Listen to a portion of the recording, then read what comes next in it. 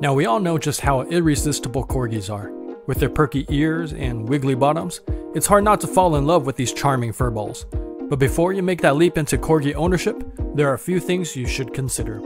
In today's video, we're discussing the 10 reasons why a corgi is not for you. Let's dive right in. The first thing you need to know is that corgis are not your typical lap dogs. While some may be cuddlier than others, these little furballs were bred for herding, and that means they have an incredible amount of energy. To keep a corgi happy and healthy, you'll need to provide them with plenty of exercise and mental stimulation.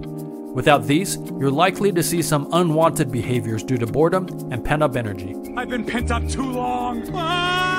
So, if you're planning to bring one into your home, make sure you're committed to spending quality active time with your corgi. Number 2. Let's talk about the noise level. Despite their short stature, corgis can be surprisingly loud and barky. This barking is deeply rooted in their herding instinct. These little powerhouses were bred to move animals many times their size, so you can expect a bark that's larger than life. With proper training, you can manage their barking to some extent, but you wouldn't want to take it away completely because it's part of who they are. It's who I am, Helena. It's who I am. It's part of the whole package of a corgi. So, if you're sensitive to noise and could find yourself easily annoyed, you might want to consider another breed. Now, on to point number three corgis and their fur.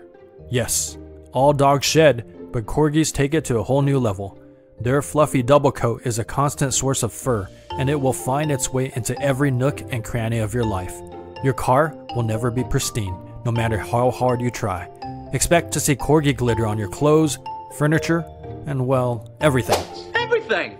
You'll end up investing in every brush, vacuum, and gadget out there to try to battle the shedding, but let me tell you, it's a losing battle. So, if you're a neat freak, know that this might be a deal breaker for many before you commit to bringing home a corgi. And the fourth thing you need to know about corgis is that they are ridiculously smart. Now, this is generally a good thing, but it can have its drawbacks. Corgis are quick learners and incredibly independent. In fact, Many of you would say that they have a cat like personality. Sometimes, when you call them, they'll just stare at you, judging your incompetence as their master. They have a mind of their own, and they're not afraid to use it, so be prepared for a dog who sometimes may outsmart you. Before we go on, we just wanted to thank you for watching up to this point in the video. We love talking about corgis here featuring our very own Gandalf, and if you enjoy what we're doing on this channel, please hit that like button. It's like giving Gandalf a virtual belly rub, which he'll greatly appreciate. Now, let's talk about the social side of corgis. These dogs can be a bit choosy when it comes to making friends. While they can be incredibly loyal to their families, they may not always be as friendly with strangers, both humans and canine. If you're looking for a dog who's instantly the life of a party at the dog park, a corgi may not be the best fit. For Gandalf, he was happy to play with all dogs until about the age of two. He quickly formed a bond with just a few friends and refused to play with others. Over time, he stopped letting other dogs greet him. We socialized him in all contexts, but as he became an adult, he really did become a bit picky on who he would interact with. As for people, he loves all humans. If you show one ounce of interest in him, he will give you warm kisses and insist that you give him a nice back rub. I'm curious how your corgi is with other dogs and people. Please comment below and share. Corgis can be a bit bossy.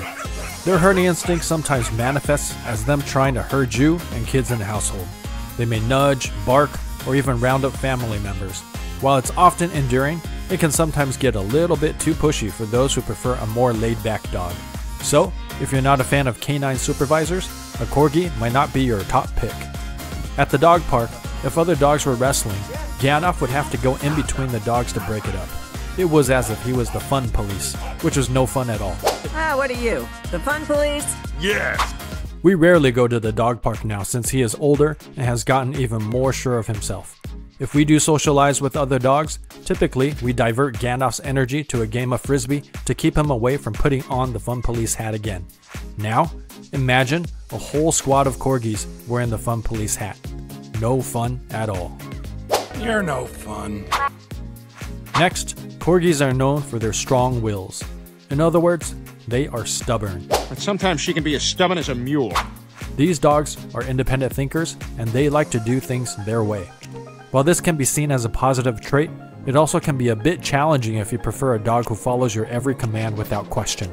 So, be ready to negotiate with your corgi. And remember, they have a mind of their own. You'll need to get those yummy treats ready to bribe them, which leads to our next point. Corgis are masters of persuasion when it comes to snacks.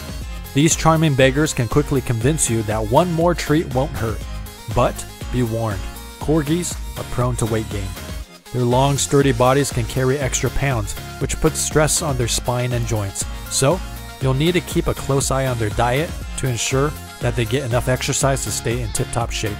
As a tip, we typically feed Gandalf on our walks to combine a bit of training and allow him to work for his food.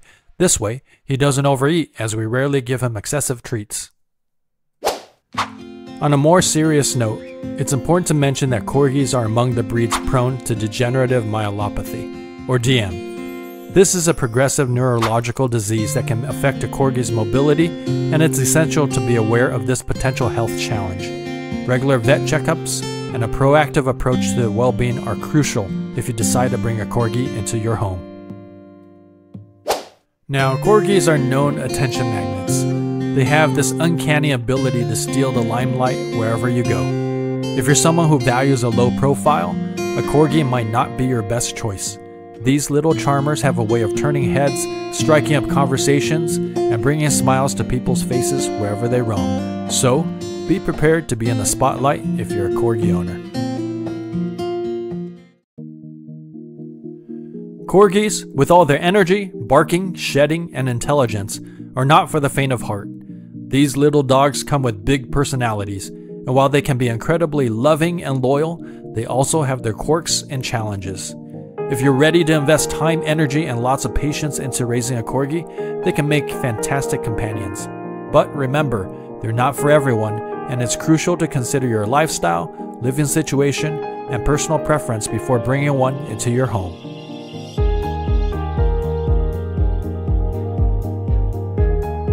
So there you have it the 10 reasons why a corgi is not for you.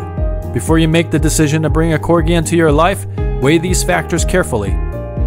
As a corgi lover and owner, I can say that the joys they bring far outweigh the challenges, but it's essential to go into it with your eyes wide open. If you found this information helpful, please give us a thumbs up and consider subscribing for more valuable insights into the world of corgis. Also, if you enjoyed this video, check out these other videos about the positive things about corgis. Thanks for watching.